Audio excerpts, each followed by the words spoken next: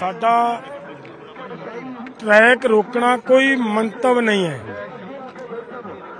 ਸਾਡੇ ਤਿੰਨ ਨੌਜਵਾਨ ਹਰਿਆਣੇ ਦੀਆਂ ਜੇਲ੍ਹਾਂ 'ਚ ਨੇ। ਜਿਹੜੇ ਨੌਜਵਾਨ ਹਰਿਆਣੇ ਦੀਆਂ ਜੇਲ੍ਹਾਂ 'ਚ ਨੇ, ਉਹਨਾਂ ਨੌਜਵਾਨਾਂ ਨੂੰ ਲੈ ਕੇ ਅਸੀਂ ਲਗਾਤਾਰ ਇਹਨਾਂ ਨਾਲ ਟਾਈ ਅਪ ਕਰਦੇ ਆ ਰਹੇ ਸੀ, ਗੱਲਬਾਤ ਹੁੰਦੀ ਆ ਰਹੀ ਸੀ, ਲਿਖ ਕੇ ਦਿੱਤਾ ਹਰਿਆਣਾ ਦੇ ਏਡੀਜੀਪੀ ਸਾਹਿਬ ਨੂੰ। ਲੇਕਿਨ ਉਹਨਾਂ ਨੇ ਵਿਸ਼ਵਾਸ ਦਿੱਤਾ ਕਿ ਇੱਕ ਹਫ਼ਤੇ 'ਚ ਅਸੀਂ ਬਾਹਰ ਕੱਢ ਦਿਆਂਗੇ। ਨਹੀਂ ਕੱਢਿਆ।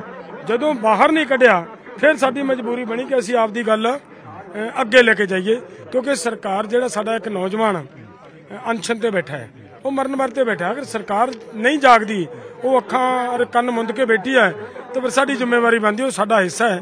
ਉਹਦੀ ਲਾਈਫ ਨੂੰ ਇਹ ਜਿਹੜਾ ਹੁਣ ਟਰੈਕ ਤੇ ਤੁਸੀਂ ਬੈਠੇ ਹੋ ਇੱਕ ਦਿਨ ਲਈ ਬੈਠੇ ਹੋ ਜਾਂ ਕਿੰਨੇ ਸਮੇਂ ਦੇ ਲਈ ਬੈਠੇ ਹੋ? ਸਾਡਾ ਕੋਈ ਇੱਕ ਦਿਨ ਦਾ ਮਤਲਬ ਨਹੀਂ ਸਾਡਾ ਕੋਈ 5 ਦਿਨ ਦਾ ਮਤਲਬ ਨਹੀਂ। ਸਾਡੇ ਨੌਜਵਾਨ ਉਹ ਰਿਹਾ ਕਰਨ ਅਸੀਂ 10 ਮਿੰਟਾਂ ਦੇ ਵਿੱਚ ਇਹ ਟਰੈਕ ਵੇਲਾ ਕਰਕੇ ਚਲੇ ਜਾਵਾਂਗੇ। ਸਾਡੀ ਕੋਈ ਦਿੱਕਤ ਨਹੀਂ। ਦੂਸਰਾ ਵੀ ਕਿਉਂਕਿ ਜੇਕਰ ਆਮ ਲੋਕਾਂ ਦੇ ਹਿਸਾਬ ਦੇ ਨਾਲ ਦੇਖਿਆ ਜਾਵੇ ਉਹ ਖੱਜਲ ਖੁਆਰ ਜ਼ਰੂਰ ਹੋਣਗੇ ਜਿਨ੍ਹਾਂ ਨੇ ਸਫ਼ਰ ਕਰਨਾ ਹੈ। ਕਈ ਬਹੁਤ ਸਾਰੇ ਐਮਰਜੈਂਸੀ ਕੇਸ ਵੀ ਹੁੰਦੇ ਨੇ।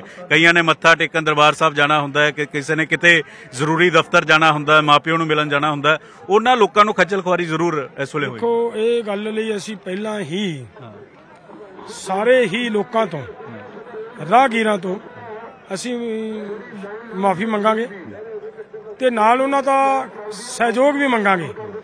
ਕਿਉਂਕਿ ਇਹ ਆਪਣੀ ਤਕਲੀਫ ਨਾਲੋਂ ਵੱਡੀ ਗੱਲ ਇਹ ਹੈ ਕਿ ਸਾਡਾ ਇੱਕ ਨੌਜਵਾਨ ਜ਼ਿੰਦਗੀ ਮੌਤ ਦੀ ਲੜਾਈ ਜੇਲ੍ਹ 'ਚ ਬੈਠਾ ਲੜ ਰਿਹਾ ਹੈ। ਆਪਾਂ ਸਾਰੇ ਆਓ ਤਕੜੇ ਹੋ ਕੇ ਸਾਡਾ ਸਾਥ ਦਿਓ। ਉਹ ਜੇਲ੍ਹ ਦੇ ਵਿੱਚੋਂ ਬੈਠੇ ਨੌਜਵਾਨ ਨੂੰ ਆਪਾਂ ਛਡਾਈਏ ਤਾਂ ਕਿ ਉਹਦੀ ਜ਼ਿੰਦਗੀ ਬਚ ਸਕੇ। ਇਹ ਉਹ ਜੇ ਲੜ ਰਿਹਾ ਹੈ, ਉਹ WTO ਦੇ ਖਿਲਾਫ ਲੜ ਰਿਹਾ ਹੈ ਤੇ ਉਹਦਾ ਮਤਲਬ ਵਪਾਰੀਆਂ ਦੇ ਉੱਤੇ ਵੀ WTO ਦੀ ਵੱਡੀ ਮਾਰ ਪੈਣੀ ਹੈ।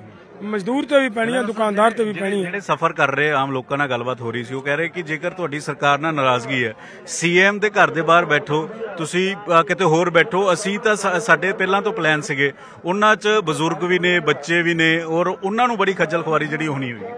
ਦੇਖੋ ਮੈਂ ਪਹਿਲਾਂ ਹੀ ਇਹ ਗੱਲ ਕਹੀ ਹੈ ਕਿ ਬਦਲਵੇਂ ਪ੍ਰਬੰਧ ਹੋ ਸਕਦੇ ਨੇ। ਪਿੱਛੋਂ ਜੰਕਸ਼ਨ ਆਪਣੇ ਜਮਾ 10 ਕਰਮਾਂ ਤੇ ਪਿਆ। ਉਹ ਜੰਕਸ਼ਨ ਤੋਂ ਵਾਇਆ ਚੰਡੀਗੜ੍ਹ ਲੁਧਿਆਣਾ ਜਾਇਆ ਜਾ ਸਕਦਾ ਹੈ। ਲੁਧਿਆਣੇ ਵਾਲੇ ਉਧਰ ਦੀ ਨਿਕਲ ਕੇ ਆ ਸਕਦੇ ਨੇ। ਇਹੋ ਜੀ ਕੋਈ ਗੱਲ ਨਹੀਂ ਹੈ ਕਿ ਕੋਈ ਵਿਵਸਥਾ ਨਹੀਂ ਹੈ। ਲੇਕਿਨ ਫਿਰ ਵੀ ਅਸੀਂ ਉਹਨਾਂ ਸਾਰਿਆਂ ਤੋਂ ਜਿਨ੍ਹਾਂ ਨੂੰ ਕੋਈ ਸਾਡੇ ਕਰਕੇ ਦਿੱਕਤ ਆਵੇ ਉਹਨਾਂ ਤੋਂ ਅਸੀਂ ਮਾਫੀ ਵੀ ਚਾਹਾਂਗੇ। ਕਿਉਂਕਿ ਇਹ ਲੜਾਈ ਹੈ ਜਿਹੜੀ ਸਰਕਾਰ ਸੀਰੀਅਸ ਨਹੀਂ ਹੋਈ ਸਾਨੂੰ ਮਜਬੂਰੀ ਬਸ ਰੇਲਵੇ ਟਰੈਕ ਤੇ ਮਸਲਾ ਸਿਰਫ ਉਹ- ਉਹਨਾਂ ਤਿੰਨ ਕਿਸਾਨਾਂ ਨੂੰ ਲੈ ਕੇ ਹੈ ਜਾਂ ਫਿਰ ਜਿਹੜੀਆਂ ਜਿਹੜੀਆਂ ਪਹਿਲਾਂ ਮੰਗਾਂ ਸੀਗੀਆਂ? ਕਿ ਬਾਕੀ ਮੰਗਾਂ ਨੂੰ ਲੈ ਕੇ ਵੀ ਜਿਹੜਾ ਪਹਿਲਾਂ ਨੈਸ਼ਨਲ ਹਾਈਵੇ ਰੁਕਿਆ ਹੋਇਆ ਸੀ ਹੁਣ ਟਰੈਕ ਰੋਕ ਰਹੇ ਪਹਿਲੀ ਗੱਲ ਤਾਂ ਮੈਂ ਇਹ ਸਪਸ਼ਟ ਕਰ ਦਿਆਂ ਕਿ ਪਹਿਲੀ ਤਾਂ ਗੱਲ ਆ, ਨੈਸ਼ਨਲ ਹਾਈਵੇ ਅਸੀਂ ਨਹੀਂ ਰੋਕਿਆ। ਉਹ ਸਰਕਾਰ ਨੇ ਰੋਕਿਆ। ਅੱਗੇ ਬੈਰੀਕੇਡਿੰਗ ਕੀਤੀ, ਅਸੀਂ ਆਰਾਮ ਨਾਲ ਦਿੱਲੀ ਜਾਣਾ ਚਾਹੁੰਦੇ ਸੀ। ਦਿੱਲੀ ਅਸੀਂ ਜੰਤਰ ਮੰਤਰ ਤੇ ਬੈਠ ਕੇ ਉਹਦਾ ਪ੍ਰੋਟੈਸਟ ਕਰਨਾ ਚਾਹੁੰਦੇ ਸੀ। ਨਹੀਂ ਜਾਣ ਦਿੱਤਾ, ਰਸਤੇ ਰੋਕ ਲਏ। ਤਾਂ ਸਾਨੂੰ ਮਜਬੂਰ ਮਜਬੂਰਨ ਰੋਕਿਆ ਗਿਆ। ਸਾਡਾ ਕੋਈ ਮੰਤਵ ਨਹੀਂ ਸੀਗਾ ਕਿ ਅਸੀਂ ਰੇਲਵੇ, ਆ ਸੋਰੀ ਇਹ ਰੋਡਾਂ ਤੇ ਬੈਠਦੇ। ਦੂਸਰੀ ਗੱਲ ਜਿਹੜਾ ਅੱਜ ਹੈ, ਹੁਣ ਇਹਦੇ ਦੇ ਸੰਬੰਧ 'ਚ ਇਹ ਆ ਕਿ ਸਰਕਾਰ ਜੇ ਬਿਲਕੁਲ ਹੀ ਕੰਨਾਂ ਤੇ ਹੱਥ ਧਰ ਲਏ, ਅੱਖਾਂ ਮੁੰਦ ਕੇ ਬਹਿ ਜੇ ਕਿ ਜੀ ਤੁਹਾਡਾ ਮਰਦਾ ਤਾਂ ਮਰੇ ਸਾਨੂੰ ਕੋਈ ਫ਼ਰਕ ਨਹੀਂ। ਫਿਰ ਤਾਂ ਫਿਰ ਤਾਂ ਕੋਈ ਲੋਕਤੰਤਰ ਨਾ ਹੋਇਆ। ਨਹੀਂ ਮੇਰਾ ਸਵਾਲ ਇਹ ਹੈ ਕਿ ਸਿਰਫ ਤਿੰਨ ਨੌਜਵਾਨਾਂ ਵਾਲਾ ਮਸਲਾ ਇੱਕੋ ਮੰਗ ਹੈ ਇੱਕੋ ਮੰਗ ਹੈ ਜਾਂ ਬਾਕੀ ਮੰਗਾਂ ਵੀ ਜਿਹੜੀਆਂ ਉਸ ਕਰਕੇ ਟਰੈਕ ਰੁਕੇ? ਸਿਰਫ ਜੇਲ੍ਹਾਂ 'ਚ ਬੰਦ ਜਿਹੜੇ ਸਾਡੇ ਨੌਜਵਾਨਾਂ ਨੂੰ ਰਿਹਾ ਕਰਾਉਣ ਤੱਕ ਸਾਡੀ ਮੰਗ ਹੈ।